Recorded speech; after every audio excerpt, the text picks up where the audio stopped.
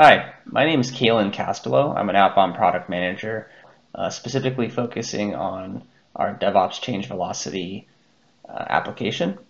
In this short video, I am going to be discussing how to get to initial value with DevOps change velocity, uh, specifically in the form of change traceability.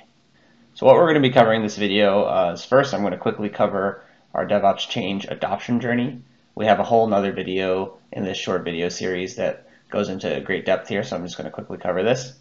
And the second uh, core part of this video is going to be demoing how to drive visibility and traceability of DevOps data within change requests in ServiceNow.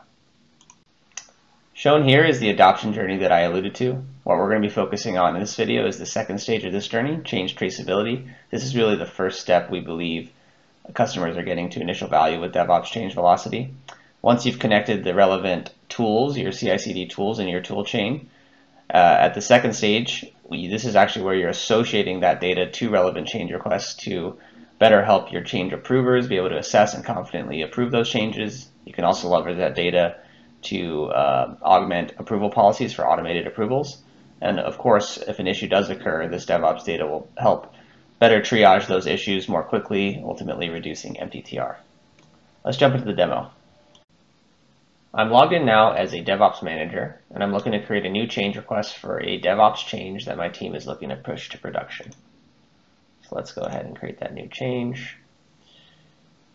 So I'm going to start by creating this change using our DevOps uh, change model. Uh, I, I, will note that this will also work if you choose to make this with a normal change. The advantage of using the out-of-the-box DevOps change model, though, is that it reduces the number of change states that uh, will be um, using. It'll just focus on the ones that are relevant to a DevOps change. And also, um, with this DevOps uh, change model, we can also have the DevOps specific approval policies applied uh, to it, and that could accelerate the approval process when this change is being reviewed. The next thing that we need to do with, with this change is update the category to DevOps. What this does is it actually activates the business rule that will enable us to associate the DevOps data to this change request once we submit it. And I'm going to cut to populating the rest of the change uh, just to save some time in this video. So now that I've populated this change request and it's been submitted, we can now see that there's a button at the top right to add DevOps data to this change. Let's go ahead and click this button. In this modal, you'll see that there are a few data types that we can select from to uh, determine the data associations. There's artifact version, release version, and build number. In this case, I'll be using artifact version, and I'll go ahead and identify that artifact. It's 1.2644.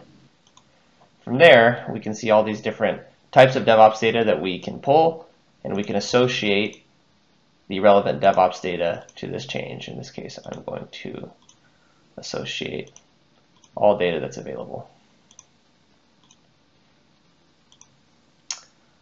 and click submit. And once I submit that, we can see all of the uh, relevant DevOps data uh, in the related lists at the bottom of the change. And from this, we can tell what the change is looking to address. So it's fixing bugs in the cart system. We can see the code commits associated to that uh, work item.